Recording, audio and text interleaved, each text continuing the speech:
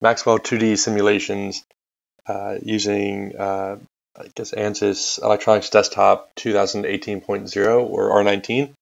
Uh, we're going to be doing a uh, design at 300 kilohertz, so it's going to be an eddy current model uh, that's cylindrical about the z-axis. So um, if you open ANSYS and you create a project, ours is called Tutorial Maxwell 2D, insert a Maxwell 2D design, give it a name, let's name it uh, video tutorial. So from there, um, I guess first things first, you right click on that new new design, uh, you want to click on solution type, and for under the magnetic header, you want to uh, do select eddy current, the radio button that says eddy current. And that's implying that we're going to be doing a design with a time varying uh, current source or current signal. And for geometry mode, we're going to do cylindrical about Z, and that's basically what that's saying is, you know, for a structure that is inherently cylindrical, or you know, if it's flat, say it's a concentric circle, or just uh, you know symmetric, you know, a circle in general. Um, that's always going to be symmetric about the z-axis or axisymmetric in general. So for our video in which we're doing uh, a coil with say 10 concentric turns, uh, this is the geometry mode that we're wanting to select. So from there, um, we're going to want to create our first conductor. It can be placed wherever with whatever radius, doesn't matter. And let's make it make sure it's copper and also let's make it a fun color, that's orange. And also ensure that solve inside is selected because we're going to be interested in uh, resistive loss as well as current density throughout the conductor. So we're wanting to solve uh, you know, for things that are obviously inside that conductor. So we're going to make this parametric and what that entails is um, you know, we're going to want to be able to vary our radius. So let's give it a variable called conductor rad. And you know, if we have, say we have Litz wire, there's one you know, standard type of Litz wire is 43 mils in diameter. So if we divide that by two, it's uh, 21.5 mils. So let's make that our radius. And for center position, say we want this to be, we're going to put, we're going to make 10 turns of this. Uh, and this is going to be our outer turn. And so say we want the center radius to be, or sorry, the, the outer radius to be 40 millimeters. So, or excuse me, going to make that parametric. So we're going to be making this variable outer radius.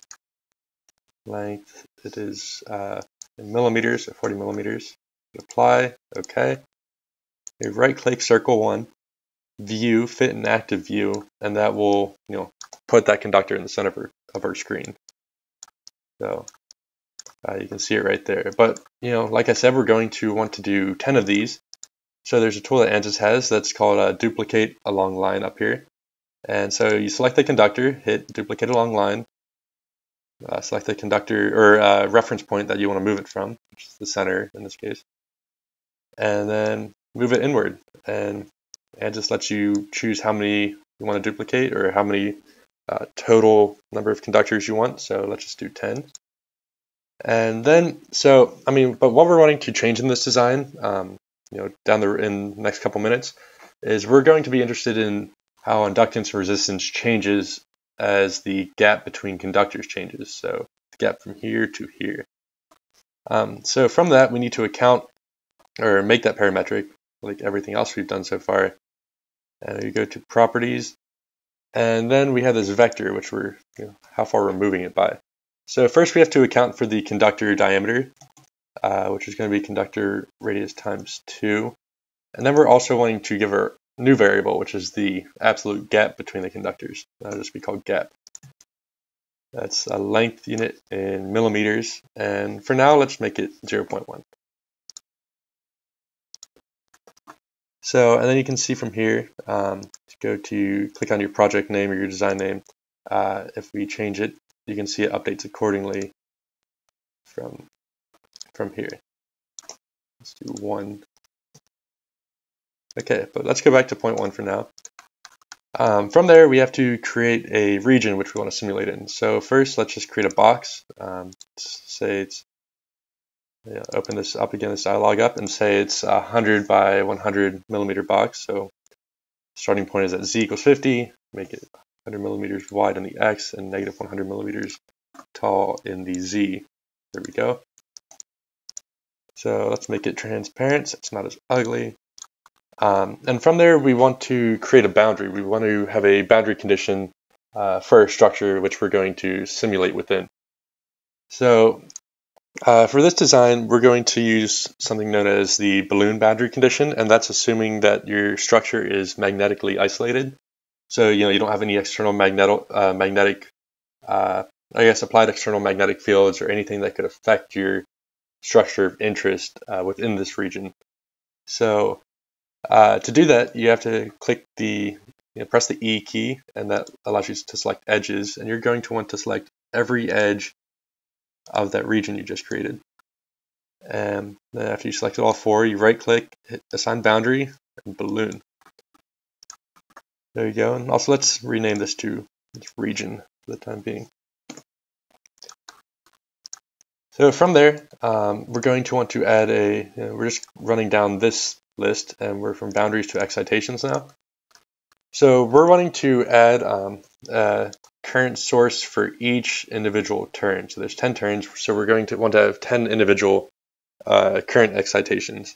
And the reason for doing that is, uh, you know, it doesn't necessarily apply to this video, but uh, for other setups, say you have your outer turn as a PCB, and instead of being a conductor or a, a single wire, you have four parallel traces of a you know, conductor on a PCB. And so those four parallel traces are going to have the same uh, parallel, you know, they're all going to have the same current. And but the way how ANSYS sees it is if you just select all of them and say uh, you know, assign parallel current or assign current, it will distribute that current evenly throughout and it also doesn't give you necessarily accurate results for inductance and resistance. Um, so it's good to get in the habit of, even if it's a single conductor for each turn, um, you manually apply a current excitation for each individual conductor. So we're going to make this parametric as well, just call it I. Um, and also we're going to do solid wire instead of stranded, and that's because um, for ANSYS, they assume for stranded wire that the current distribution is uniform and proximity and uh, skin effects are mitigated um, because they're assuming ideal Litz wire. But you know that is not the case for you know that in an ideal world, yes, that's that's true, but not for what we're doing. Um, and we're also interested in seeing how current density might look due to you know, proximity effect or eddy current um, effects from parallel um, conductors. So we're going to keep that as solid, and we're going to do this for all all 10 conductors. And also we're going to add current. This is uh, this is peak current. So if you want to do RMS, you have to convert accordingly. Uh, okay, so from there, let's just do nine more really quickly.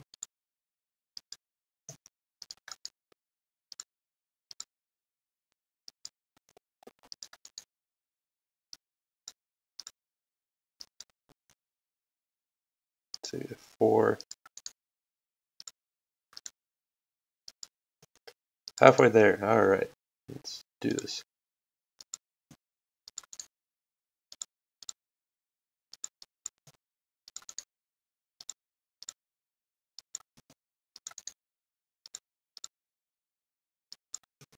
And one more, and then we can actually do something fun. All right. So have those finished. Uh, so you have these, you know, 10 unique uh, current sources. So from there, you know, within ANSYS, they're going to look at uh, individual inductance for each one of those, you know, generated by each one of those uh, current excitations and, you know, also resistance, etc. Um, but we can also group those together into a matrix. So we right click, we go back, right click, the sign matrix. Uh, if you just click on the include uh, header that will select all of our sources. And then in post-processing, we want to be able to look at inductance and resistance, you know, for all the all the conductors, and not just one or you know two or three of them. So we select all ten, group. There we go. Uh, next up, we're wanting to do um, a mesh. We're wanting to create a mesh for both the vacuum region here, which is, can be seen here, and we're also wanting to do it for the conductors. So for the conductors, uh, if we select all of them at once, we can right click, assign mesh operation, and inside selection, click that. This will be called uh, coil mesh.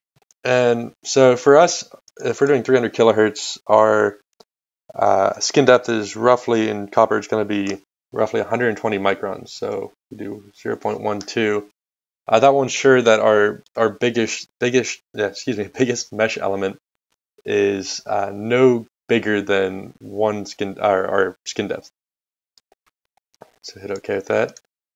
And then for the region, we're wanting to also generate uh, a mesh. So just clicking on a region, right clicking, assign mesh operation inside selection. And this will be called uh, region mesh. And we can just go with the default of 20 millimeters. Okay, and then now we create our, you know, our solution setup through analysis, right clicking on that. So for this, um, typically Maxwell 2D for these very simple structures, it doesn't need many passes to fully converge. Um, even if you have you know, fairly low error, say let's just let's just say our percent error is five percent for this. Um, so that's really the only thing we're changing here. And max number of passes is 10. We'll be able to solve each pass under under 10 for sure. Uh, minimum number of passes though, just to ensure that our delta energy or our you know delta L or delta R isn't too great between passes. Uh, it typically studies out or uh, you know kind of converges towards zero after around five passes or so, and then after that, um, you know, you can also say we want after like just having a minimum number of passes. If we're wanting to make sure it's you know very well converged and there's you know maybe one percent error between all converged passes, uh, that that's you know we can increase this number to ensure it's ex, you know it's extremely accurate um, and our mesh and everything is pretty pretty stable by then. Um, but for this, we can just leave it to one. Um, we can also have it converge about loss. So if we're looking at resistive loss or you know power dissipation, we can click that. So let's go ahead and do that. Um, expression expression cache there's a kind of a bug with an ANSYS where we can't, it says it's not available until after the solution has been created. So basically, if we go through this and hit OK, we'll just reopen it in about a minute and uh, you know be able to fill this out. For the solver though, we're doing our simulation at 300 kilohertz. Uh, leave this value the same. We're not doing any frequency sweeps and our defaults, we're, we're not changing anything. So we hit OK, but we're wanting to go back into it and look at the expression cache. And now you see you have this, this totally different interface available to you. And we're wanting to, you know, for that matrix we created for all those 10 conductors, we're wanting to ensure that the inductance um, and resistance measurements are our resistance calculations are all also converging in addition to the delta energy. So we would add L for group one, which is related to the matrix that we created. Um, we can also add R. And we're also wanting to create our own variable. So we go here to output variables, and we're looking to create a uh, uh, variable for quality factor. So from there, you know, quality factor is just a, uh, it's a pretty simple equation where we're just looking at inductance, multiplying that by omega, which is 2 times pi times the frequency of interest, and dividing that by the resistance of the group. And from there, we have quality factor. We add that, and there we go. Done. And now we can add that into our calculation as well. So, and for all of these, we can, let's just say, I don't know, let's say 10%. And let's make it all 10, why not? Or for resistance, yeah, let's say 10% again quality factor. 10. And then we're going to want to evaluate that versus pass. So um, since we're not doing a frequency sweep, we're wanting to select this option um, because if we do not select one of those options, it will not let us continue uh, from this window. So, and then from there, um, so earlier in this video, we made the gap between traces uh, parametric. So that's what we're wanting to do now, where we are doing a sweep of that gap so if we right click on Optimetrics, add parametric, hit add, um, as you can see, we can change a bunch of things. We can change current uh, and all the other uh, parameters that we had created earlier. But we're wanting to do gap and say we want a gap between 0.1 millimeters and 1 millimeter a step of 0.1. So that gives us, add that, and that gives us 10 different options.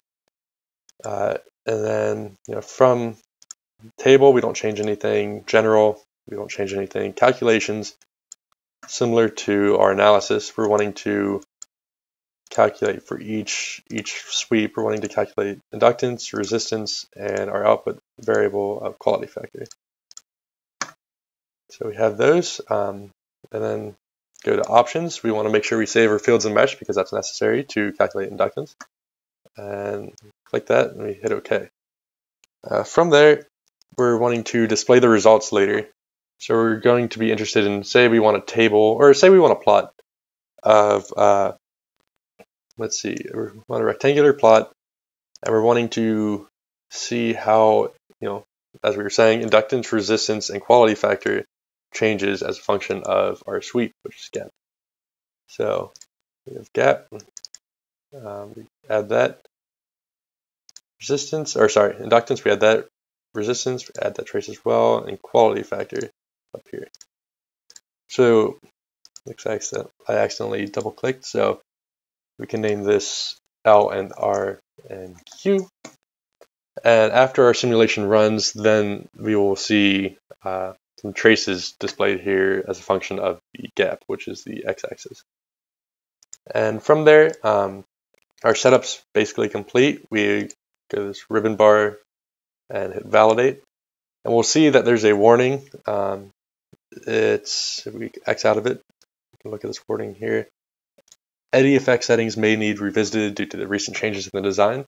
Basically, this is ANSYS wanting you to make sure that you double checked that uh, there are eddy effects felt in the conductors of interest. So if you go to Maxwell 2D, excitations, set eddy effects, uh, all you have to do is just open it and close it, and then it's and just sees it as you double checking. So it says okay. And from there, you hit analyze. Um, so from that, I already ran this, so I already have a, a solved uh, model. So if we go to that really quick, we you know see it's the exact same as what we were just looking at but we're wanting to look at a few things. So we click on our plot and we can see, you know, blue line is quality factor and then you have inductance and resistance and you can see how that varies as a function of the gap. Um, but from there, so that's, you know, that's something you can export. If you right click, you can export into a CSV file or a text file or, you know, things like that. Um, but say we're also interested in looking at looking at our mesh and seeing how well our or meshes and current density and things like that. Um, so what you do is you right click and uh, plot mesh and what that will show you is something like this which shows you the mesh in you know just that conductor but you can do it for all conductors in the region and you can see you know it's I'd say it's a very well uh, defined mesh and will give us you know, good results for current density. Um, from that, say we're wanting to look at current density in this conductor, so you'd right click it or you first left click it to select it, then right click, and uh, you go to Fields, J, and J at phase. And from there, it'll prompt, uh, give you this prompt, and you just hit done, and it will, you know, it'll display it. So let's let's do that. And here you see current density in our uh, conductor, and you can see, you know, there's some obvious skin effect and proximity effect, and you know, eddy current effects happening right here. Um, but then say we're also looking at our magnetic field or we're running to look at the B field in this overall region. What we do is we select the, the region, uh, right click and hit fields B, mag B and hit done. And what that's going to give us is this plot. So you can see, you know, uh, how the magnetic field varies between uh, as a function of distance and if you want, you can also create, you know, a non-model object, say a line up here, and plot it. Uh, you know, say you want to plot it in the x right here. Then you can, uh, from there, you can plot the uh, B field strength as a function of distance over that line. Um, so yeah, I hope this has been informative in you know kind of setting up a basic Maxwell 2D design uh, for eddy current simulations. And yeah, hope hope you uh, learn one or two things from it.